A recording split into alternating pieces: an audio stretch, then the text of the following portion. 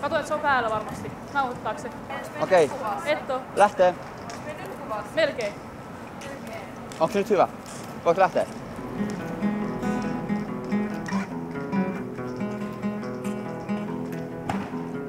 Hiljaa hiippaan Lenron kaupan taakse retta etsien. Lopulta löydän tieni roskaa astioiden luoksen niissä lukee pakattu biojäte.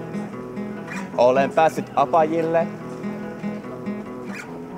Hitaasti nostan kannea, tunnen sen pursuavan jotain arvokasta.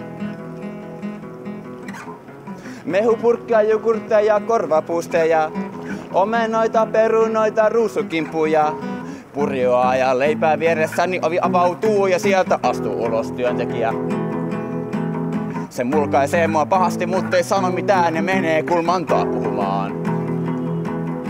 Aavistan pahaa ja alan poispäin sipsuttaa ja huomaan kuinka se kutsuu vartioita paikalle. Olen heille liian kaukana, mutta en unohda kuinka se huutaa, ottakaa kiinni rikollinen. Joidenkin mielestä roskien dyykkaaminen kauppaa riistää. Missä on menty pieleen siinä? Kun mua jahdataan kun rikollista, kun otan omena roskiksesta. Ymmärrätkö mitä ajan takaa? Kun ketään hakea pullaa teidän kaupan takaa. Ei en todellakaan maksaa siitä. Kun pullon otan teidän roskiksesta. Tässä on jotain mätää. Kun heitetään pois kamaa, jota ei sitten saa ottaa. Mulle sanotaan, täytyy kuluttaa. Tai muuten olet yhteiskunnan pohjasakkaa. Jos kuitenkin ruokakopan jätteistä keräät, niin kohta sinä hippiputkaassa heräät. Älä jahtaa mua kuin rikollista. Älä tuomitse minua, kun noudatan eettisiä periaatteita. Vaan lähde mun kanssa dykkaamaan.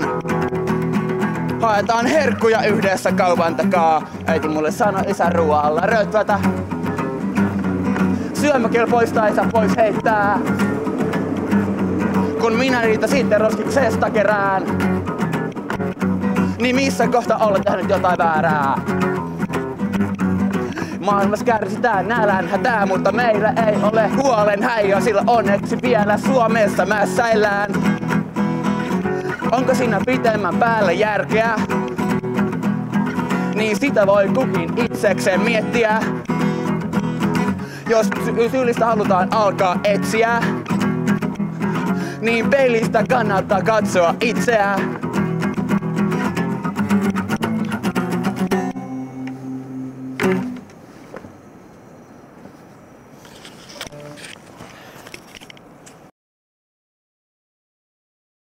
Kädet lämpenee. Mun kato.